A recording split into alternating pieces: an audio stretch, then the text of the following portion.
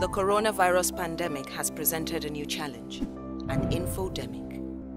Never in our history have we seen a flood of information and news like we have now. Here are five tips to help you spot and stop fake news from spreading. Be suspicious and be careful of what you share. When you receive new information, pause and make sure it comes from a reliable source. If the information is false, let others know. If you are not sure, do not share it and follow the next steps.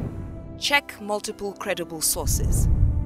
It is important to check more than one credible news source and also the websites of the NCDC, the WHO, CDD West Africa, and verified accounts of local health and administrative officials.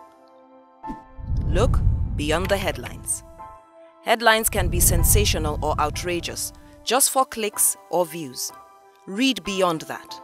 What is the actual story? Who wrote or who shared it? Is the person credible? Check the date of the story. Sometimes old news stories can be used to skew the thought or feelings around current affairs. When was the story originally posted? Ask the experts. When in doubt, ask questions.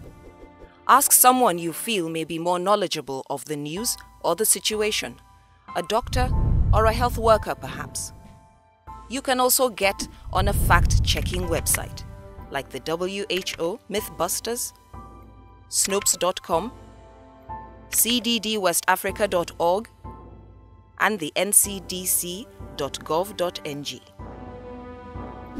You can also forward suspicious messages to the number and the Twitter handle on your screen for verification. While we work together in fighting this pandemic, let us also stop the infodemic. This message is brought to you by the Center for Democracy and Development.